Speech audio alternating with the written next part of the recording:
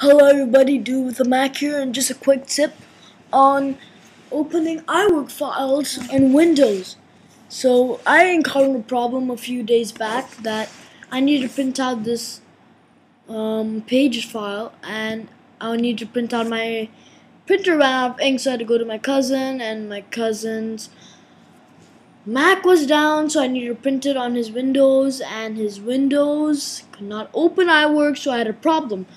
So basically what I just did is it's a quick simple solution. First I'm going to click copy the file. So yeah.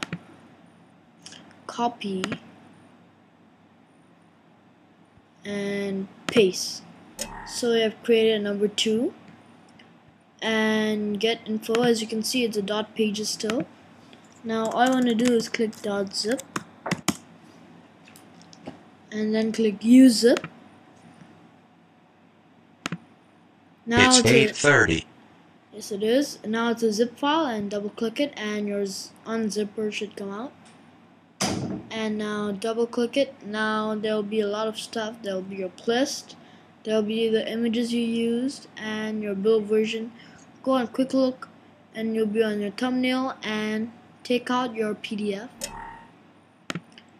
and you can just use this and just print on any Windows XP or Vista or 7 because I know that all Windows can open PDF files and you can print from there. Guys this was dude with a Mac and thank you. Peace out